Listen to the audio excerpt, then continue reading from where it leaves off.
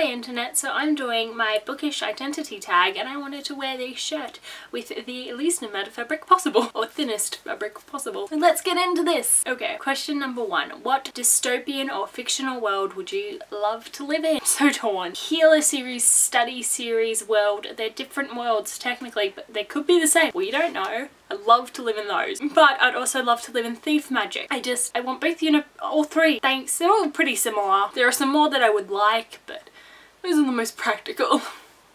Least likely to die in those, depending on where it was birthed in studies. And healer, there's problematic there. I guess there's a problem in thief magic, but I just, I love them, so in there. Who would your partner be? Valek. Maybe, like, Valek's the first one that comes to mind whenever I think of partners and who I fell most in love with in a book. It's not like I fell in love with him, I fell in love with him and Yelena, but Valek from study series. Who would be your godmother slash father in like a Percy Jackson world, Olympian sort of things. So I think it would be Athena, just because whenever I hear about Athena, I'm kind of like, oh, Athena's cool. There's just something in my mind that when I hear the name Athena, I'm like, yeah, fuck yeah, Athena. Also, like I kind of like what she's the god of. She's like the goddess of intelligence, skills, peace, fucking warfare, battle strategies, handicraft and wisdom.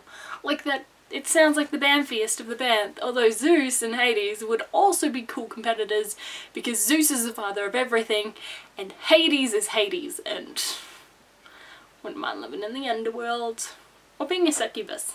Being a succubus would be cool, although you'd never find true love.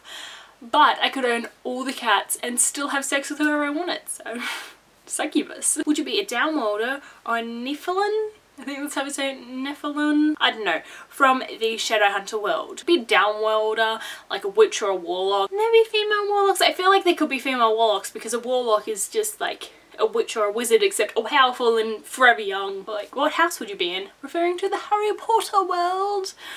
Ugh. I have done the sorting hat, I think, three times in different online tests multiple times. I have gotten Slytherin twice and Hufflepuff once, so I feel more like a Slytherin. Like I identify with Slytherin. I love snakes. They're super cool. And, but like Hufflepuffs are, are like awesome people too, so I'm both. I'm a Hufflepuff Slytherin hybrid.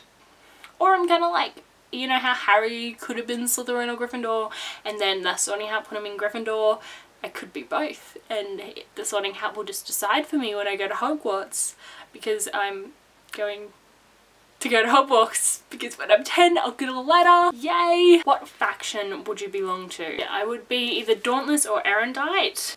I don't feel like I'm fearless enough to be Dauntless but I guess being born in that world I would probably choose Dauntless or I would have been born Dauntless. Also tattoo. So Dauntless. I can be fearless when I want to and be active when I want to when I really goes with my personality type but otherwise um, erudite because I love books and reading and research and science. I just don't feel like I'm smart enough for erudite. I could never be abnegation because I am not selfless and I am extremely vain. Hence why I make I record myself talking to a camera, sit down and edit myself and then post it to the internet because I think my opinion matters enough to go on the internet apparently. And then Amity is it? Amity? Amity? I'm not nice enough to be Amity, like I'm not that nice and peaceful. I would start arguments with people for funds. Um, Candor being honest all the time. No thanks. I, I don't want to be feel like I can't be honest all the time. What if I want to lie? Like I can't because I'm Candor. But yes, so that was my bookish identity tag, I guess. Did you guys enjoy it? I enjoyed making it, hence why I make videos on the internet. Anyway, I hope you guys are having a lovely week and I will see you next time. Bye.